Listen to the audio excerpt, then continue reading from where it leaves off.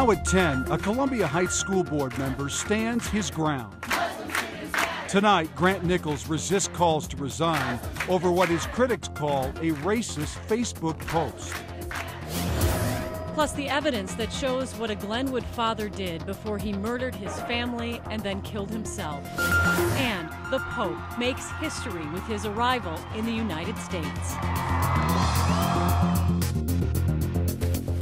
Thanks for joining us tonight. We start with some tense moments at the Columbia Heights School Board meeting. For the second straight week, teachers, students, and parents called for the resignation of member Grant Nichols. But unlike last week, Nichols faced the crowd that called his controversial Facebook post disgusting. John Croman is live with his defiant stand tonight. Hey, John.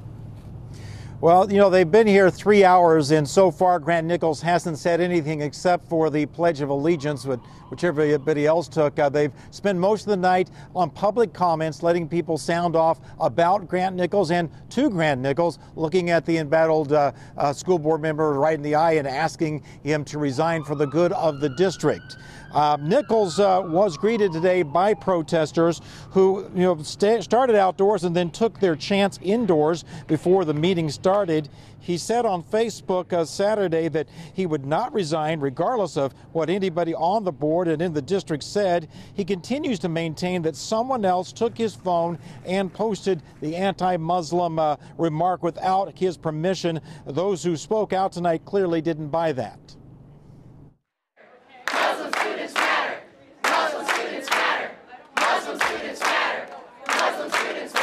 You speak in, on behalf of everybody, not just yourself. These are kids, and you took away their defenses. You betrayed the mission statement, and you disgust me. And unfortunately, that student body doesn't want you to lead them. This community doesn't want you to lead them. The rest of your board members don't want you to be here. And honestly, safety had nothing to do with it. Here at Heights, we value everyone's safety, and no one in the building would do anything or let anything happen to you. Now, Earlier in the evening, uh, a, about three dozen members of the local uh, school board, uh, sorry, the local teachers union, marched from one of the elementary schools up the hill toward district headquarters. Uh, they wanted uh, to be seen. They actually put up some flyers or banners over Central Avenue under the pedestrian bridge here on uh, on 49th Avenue North, and eventually made their way over to the school board meeting. And they're all sitting there right now watching the action. Again, they're right now just getting to the part of of the agenda where they're going to start talking about a resolution that uh, would would basically be a resolution calling for Nichols to resign. But he has once again he has said he is not going to resign. He says the 2,800 people voted for him uh, to be a member of the school board, and uh, those people should also have a voice, not just those who are here tonight speaking against him. Back to you. So, John, just two quick questions. Could there be another vote where they could just vote him off the school board, or is that just a one shot deal and now it's over? And second, what was his reaction when people were looking at him directly and saying these things to him that he was not wanted? Well, I'll answer your second question first. Uh, they, he was very calm, very calm demeanor. Um, he looked interested. He, he listened politely. Uh, that, that was, sometimes he looked down and took notes, but pretty much just you know just sat sat there and took it all. Um, as far as the question about could there be another vote, there are only five members on the board right now. It takes four votes uh, to remove somebody with you know involuntarily, and he's one vote, and Ted Landwehr, who stood with him last week, is the other vote. So that leaves only three votes, and those same three people may vote tonight to ask him to resign, uh, but but they won't uh, they won't be successful trying a vote uh, to try to get him uh, just ousted from the board. All Back right. to you. Thanks so much, John. All right. Well, court records are revealing new insights into the murder suicide of a family living on the shores of Lake Minnetonka. But while many questions now have answers, the motive behind the crime remains a mystery. Jay Olstad breaks down the evidence of the deadly discovery. In this 19 page search warrant, investigators provide more detail about what led up to Brian Short killing his wife and their three teenage children at their home on Lake Minnetonka. Inside the pages, investigators say Short bought a shotgun at Gander Mountain in Eden Prairie Sunday, September 6, just a day or two before the medical examiner believes he used that gun to shoot and kill his family and then himself. Police say one of Short's coworkers became worried and called police to check on the family. That employee had access to Short's email account and, according to police, discovered a message from the children's school indicating they had missed the first two days of classes. That employee also told police that Short was stressed because his business was not going well. His online company, allnurses.com, was facing a defamation lawsuit from another company, but what, if any, role that played is unclear. At the family's funeral this past weekend, his brother in law confirmed Short was going through some difficult times. But deep down, there's a storm brewing. Not one you can see or hear. Business was slow. Business faced challenges Brian was not used to having. The once lovable goofball that everybody knew and loved was now fighting depression and anxiety. The search warrant also reveals all five family members were shot in the head and found in or near their bedrooms, except for Short, who was found in the garage. Investigators located Short's cell phone and two computers in the home, one of which controlled an exterior camera system. What's not in this search warrant is a motive. Investigators didn't find a suicide note or letter inside the home, indicating why a father and husband would kill his own family. In Greenwood, Jay Olstad, KARE 11 News. The investigation is not complete. Police are requesting a search warrant for Gander Mountain as well.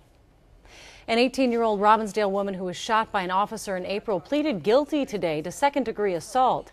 Tania Harris admitted to running at the officer with a knife in her hand during a fight with another woman. Her plea came just minutes before jury selection was set to start in her trial. A sentencing date has not been set. A settlement has been reached in a case involving a Mendota Heights police officer who was shot and killed during a traffic stop. Officer Scott Patrick sued the city a few months before he was killed last year. In the suit, Patrick claimed whistleblower and workplace retaliation. As part of the settlement, city officials and Patrick's wife will come up with ways to remember and honor him. There's a, a painting that we know the city has of Officer Patrick, and we've asked that be. Um, and then even the establishment of some type of physical memorial the city tells KARE 11 the case was settled for $50,000, which will be divided between Patrick's widow and her attorneys. Tomorrow marks the first of several busy days for Pope Francis as he tours the United States for the very first time. The pontiff is expected to urge America to set aside differences, care for the environment and the poor, and embrace religious liberty and immigrants. His mission follows his warm welcome at Andrews Air Force Base earlier today an occasion marked with the ringing of the bells at the Basilica of St. Mary in Minneapolis.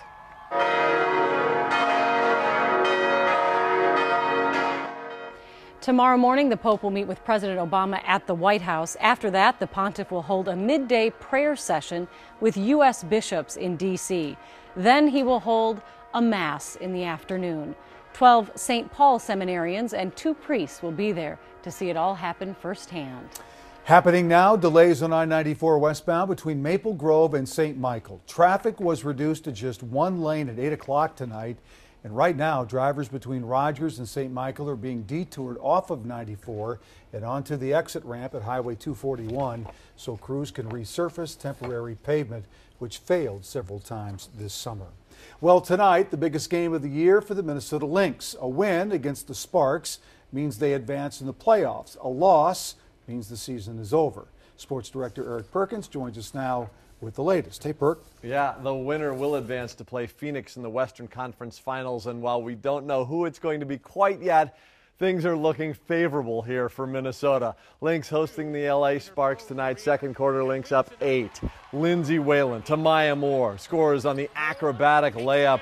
Gets the target center rocking tonight. Great crowd there this evening. Third quarter, Seimone Augustus finding the open lane, driving to the hoop for the bucket. And the Lynx go up by eight. Later, it's Moore again. She drains the jumper from the free throw line. And right now, the Lynx lead by a half dozen with a, just about a minute to play. Lynx have won eight straight playoff games on their home floor. We'll see if they can make it nine. And we'll check in live with Dave Schwartz a little bit later in sports. All right, thanks, Perk. Still ahead at 10, flying high over the Twin Cities. Tonight, a unique look at Minneapolis from 249 miles above Earth. Plus, the Boys of Summer fulfill a wish for a Twin Cities teenager who spent his summer battling cancer. Belle? And in weather, in five hours, autumn arrives. Let's take a look at how we are, how we were today for our last full official day of summer. Not too bad. 74 here, 79 in Marshall, and this is what your Wednesday looks like. Autumn arrives, and so does the rain and thunderstorms. We'll have the forecast through a sunny weekend coming up in a couple of minutes. This little GoPro camera has quite a story to share. I said, honey, I just lost the GoPro. The secrets it revealed next in the land of 10,000 stories.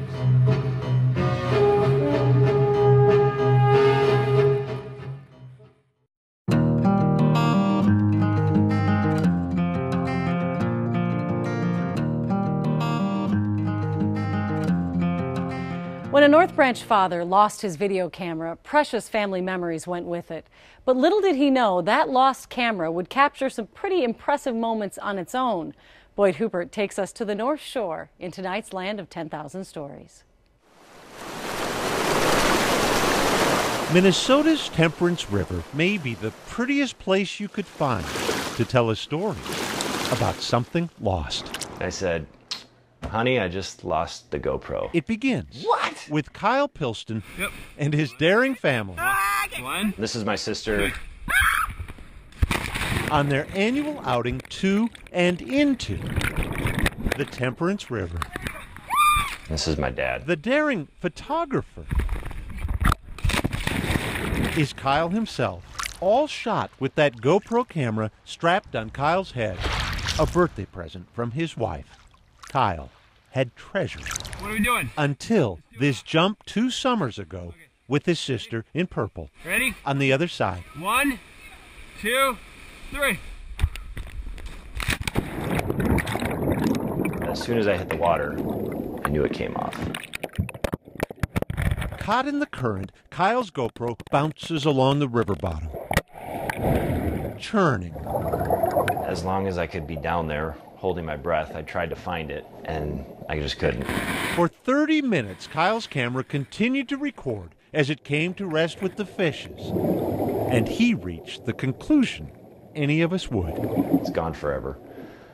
I'll never see it again. The seasons changed at the Temperance River fall to winter, spring to summer, till almost a year to the day later when new visitors arrived. My brother and I, we we were up at Temperance River and we had some snorkels that we had purchased. Chris Flores plucked from the river a skateboard and some construction debris before his brother reached into the water and grabbed this. It was tight. A GoPro, still dry in its waterproof case.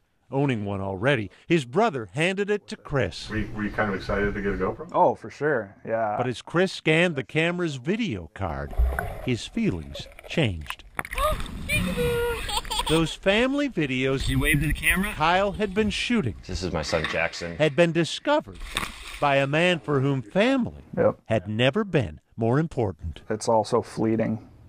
We we're not guaranteed tomorrow. One year earlier, the day after this picture was taken, Chris's four month old daughter, Morel, had a heart attack. My wife and the other two kids were gone, and um, so I had to give her CPR. And um, so she had a tumor the size of a ping pong ball in the left ventricle of her heart. Any father who's been through that.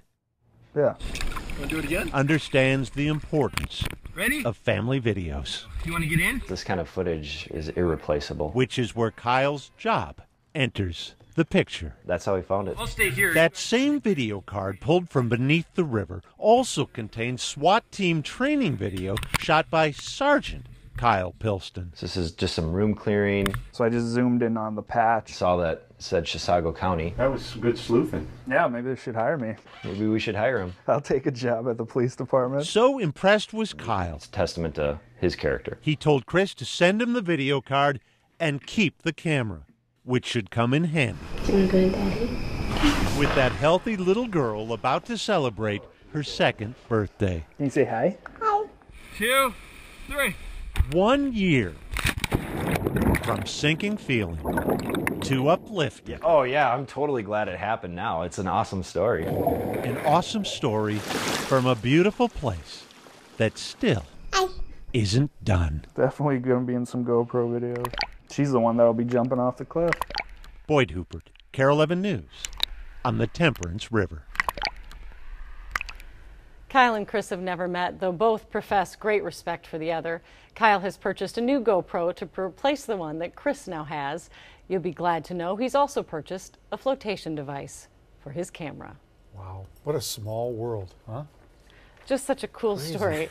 I mean, There's so many twists and turns. I know, in these and as only Boyd can weave it together and We don't reveal see as these go. things before they're on the air. I don't know if folks Yeah. realize that because ah, it's we watch it with you because we want to, and Yeah. uh, because sometimes they're not done until moments before Yeah. too. So, wow, Great guys. phenomenal story. story. and what a beautiful river, Temperance. Ooh, is that pretty? I've had a chance to be on that a few times. It's just a great river. And another great place is Gull Lake. Look at this Mm-hmm. picture. This was taken tonight. This is taken by Judy Oh, McCaffey, and she wanted to say farewell to summer. And uh, there it is right there. Just a gorgeous shot. So I asked her what her favorite memory of summer was, and she said it was Labor Day weekend, and they had a big shrimp and crab boil up there for her entire family. And they have been on that beautiful lake for eight years. I posted all of her photos, a bunch of them, in fact, on Facebook tonight and asked you what your favorite summer memory was. And a ton of people are uh, letting me know, sharing pictures as well. So I really appreciate it. It's been fun to look back, very nostalgic. A little bit tearful just thinking about how wonderful summer was. Of course, we're closing it out tonight, but go ahead and look at those comments and maybe post your own. I'd love to see it on my Facebook page. Here we go. This is what's going to happen as we roll through the next few hours and head into autumn. We do have a little bit of light rain up at Gull Lake and also on the Temperance River. The Temperance River is right here in the central portion of the North Shore. And oh, if you have a chance, make sure when you're going over all those rivers, when you see the Temperance River sign, make sure you make sure you stop. There is a beautiful overlook that's just beyond uh, the main road there, and it is just a gorgeous spot. Also, of course, Gull Lake tonight, seeing a couple of spotty showers. Well, what's happening in the rest of the country is what's going to be happening here starting tomorrow morning. We have rain from basically southwestern Minnesota all the way down to Albuquerque tonight, and all of that moisture is on its way here. So it's going to rain for a couple of days. Tomorrow, off and on, as you can see, here's the showers and thunderstorms at 9 a.m. Here is tomorrow night at 9 p.m. Another batch moves in overnight tomorrow night into Thursday morning. Here's 10 a.m. Thursday. It's going to be wet for a couple of days. That is uh, the sure sign here. And what we anticipate is that everything will clear out on Friday and the sun will reveal once again just in time for an absolutely beautiful weekend. But for tonight, as you can see, we're sitting at uh, 67 right now. We'll dip down through the mid 60s. It'll stay very mild. Maybe a clap of thunder tonight or a shower, but the best chance will be in the mid morning through the afternoon and into the overnight hours tomorrow night. So a wet beginning of autumn. Autumn bele- begins in the 3 a.m. hour with the autumnal equinox, 75, then the rain on Thursday morning. And we do expect rain to continue off and on th- through Thursday afternoon, but the best chance of wet of rain will be on Thursday morning, and then it will be drier in the afternoon. We do expect it to clear up on Friday. It'll be 74. And speaking of just uh, clearing up and remaining just gorgeous, we have 74 Saturday, 78 Sunday, and then 80 as we start our first full official week of autumn. Not a bad way to start it, or not a bad way to end summer either this evening. What a beautiful night. So pretty. Thank you, Belle. All right. Well, this got a ton of buzz today. The picture was snapped and tweeted by NASA astronaut Kjell Lindgren, who used to live here when he worked at HCMC. Fans noticed TCF Bank Stadium, US Bank Stadium, Target Field in the picture. Another pointed out the faint green line at the bottom of the photo where the 2011 tornado rolled through. Ooh, they got better eyes than I do, but Yeah. very cool. Pretty cool pick. Well, coming up, post-game reaction from that pivotal playoff game for the Minnesota Lynx. Plus, the Twins look to get closer to that final wild card spot. Perk has the highlights next.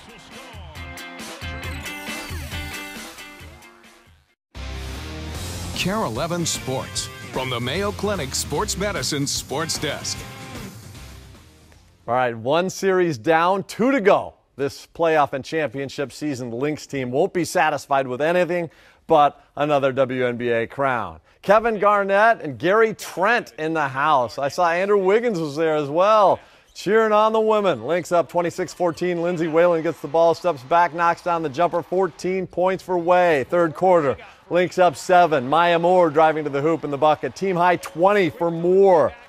Then in the fourth quarter, Lynx up one. Seimone Augustus from the top of the key gets the nice bounce. She has 16. Lynx pull it off knocking off the LA Sparks, eliminating them from the playoffs 91 to 80. They move on to the Western Conference Finals now to face Phoenix. Now let's check in with Dave Schwartz, who's standing by courtside at Target Center. Hey, Dave.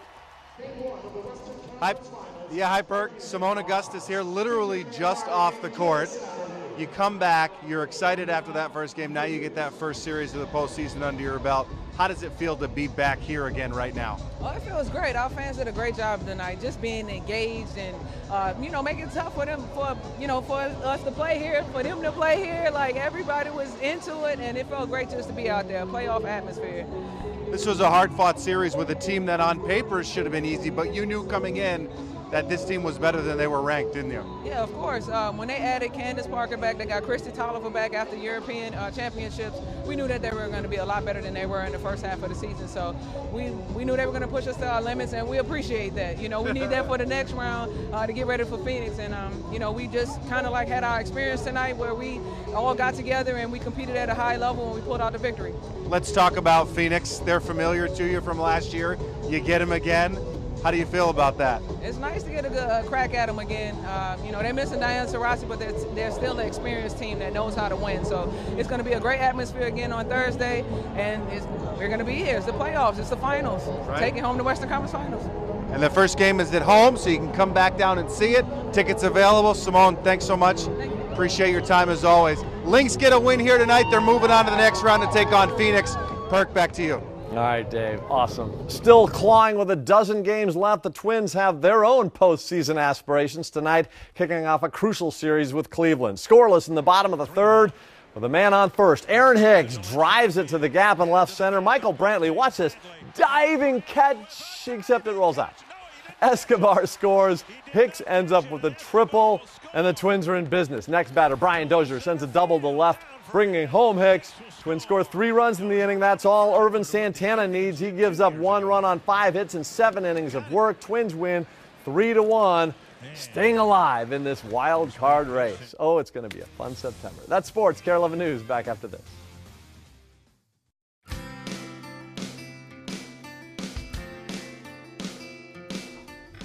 Before we go, in the midst of their wild card race, the Minnesota Twins made a fan's wish come true tonight. Sean Flores was an honorary Twins player for the day. The 14 year old was diagnosed with a rare bone cancer. Part of his Make a Wish included a meeting with Paul Molitor and a tour of the clubhouse. He also got to throw out the first pitch at tonight's game. Great throw. This was a once in a lifetime opportunity that you can't do anytime else. The Twins was something he always followed. He's a diehard fan through thick and thin.